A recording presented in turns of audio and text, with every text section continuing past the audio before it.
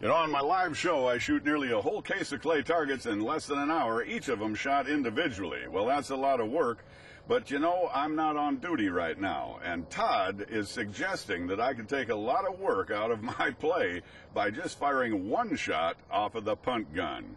Here we go, on the count of three. One, two, three. Oh, gee whiz! Wow!